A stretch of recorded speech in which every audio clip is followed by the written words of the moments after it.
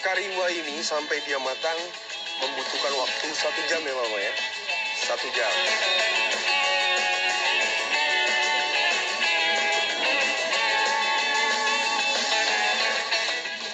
Ya, karena membuat roe kariwa memakan waktu yang cukup lama untuk menunggu dia matang, kurang lebih kita menunggu satu jam. Jadi sementara kita menunggu, kita juga membuat bumbu yang lainnya, yaitu yang disebut dengan sautoro oleh orang masyarakat di sini, yang artinya adalah cabai campur dengan terong.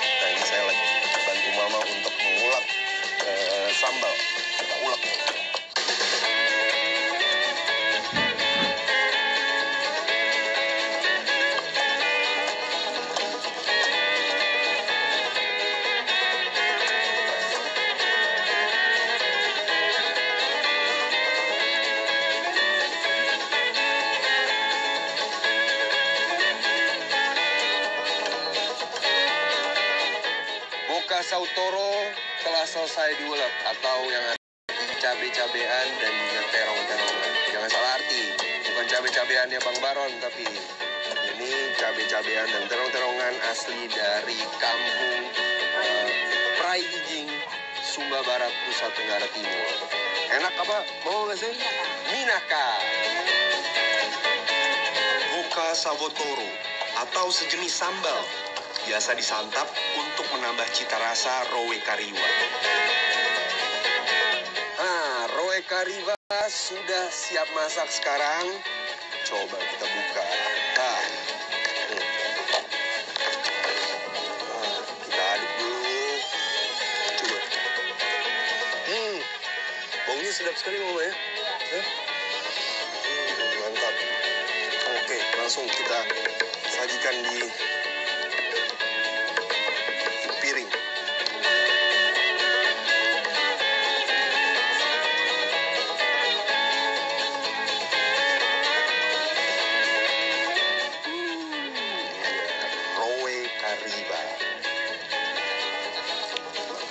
Dari Kampung Praijing, Sumba Barat, Nusa Tenggara Timur. Sudah, taruh sini mama ya. Oke. Roe Kariba. Langsung kita makan nih. Hmm, lagi panas-panas. Ayo mama kita makan bersama. Roe Kariwa sepintas mirip bubur karena teksturnya yang lembut. Bedanya ketika proses pembuatan semua bahan langsung dicampur jadi satu. Ah, kita siap makan-makan nih ya bu. Wih. Roe Kariwa siap disantap bersama dengan eh, Boka Sautoro. Boka sautoro, cabe-cabean dan terong-terongan.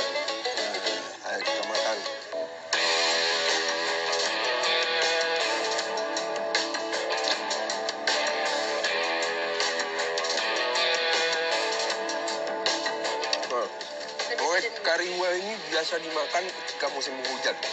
Ketika musim jagung lagi panen ya, oh ya. Nah, dan biasanya dimakan siang hari dan kalau memang ada yang suka baru dibuatkan oleh mama-mama di sini. Rasanya enak banget.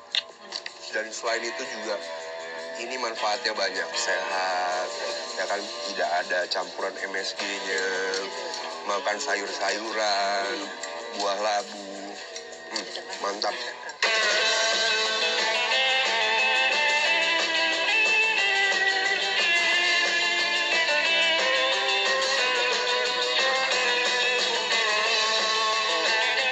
Indonesia itu sangat kaya sekali dengan sajian kulinernya. Bukan hanya itu aja, dari budaya, alam, tradisi, dan sebagainya. Sebab itu, untuk kita, kita harus terus menjaga kelestarian alam dan menjaga budaya-budaya atau tradisi yang ada di negara kita. Ikuti terus jejak saya, jejak petualang.